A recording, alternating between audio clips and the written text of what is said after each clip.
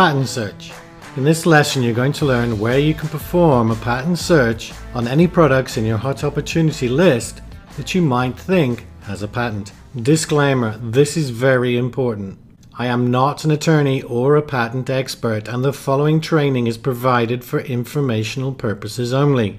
It does not establish any specific legal advice or recommendations. If you are not certain about any specific search or patent inquiry, you should consult a patent or trademark attorney.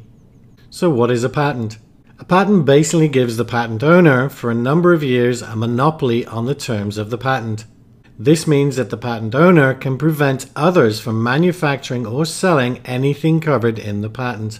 This means you need to avoid any product that has an existing patent. Patent pending means someone has applied for a patent but it has not been granted yet. If you find a product with a patent pending, then you should still avoid the product. Now, you can always monitor the patent to see if it gets approved or not. However, this is probably going to be longer than you would ever want to wait. Patent information. The best way to perform patent searches on your prospective products is the official US government site. Now, if you're selling in the UK or Germany, you need to find the patent search site for your country. The link to the site is www.uspto.gov. This site has a huge amount of free information and it also contains two different patent searches patent overview and information.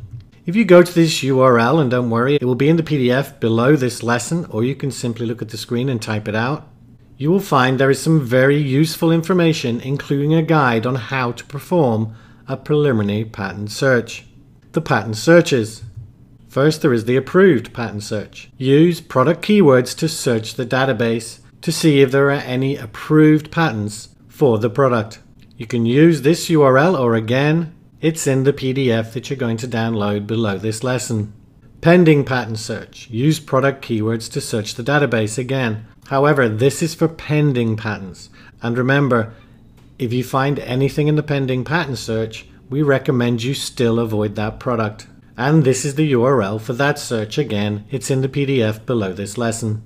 If you are concerned about a product in your list that it might have a patent, then you should run both searches and not just the approved one.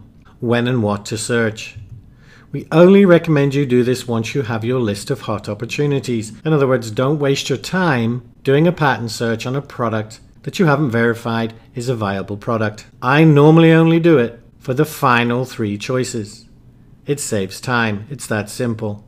If after your first product is up and running and you want to go back to your hot opportunity list, then again, if you choose one of the products on that list, then run the patent search if you're concerned. The vast majority of products on Amazon which are sold by multiple sellers and match our criteria are unlikely to have a patent. However, if you are unsure in any way whatsoever after running a patent search, then you need to contact a patent attorney.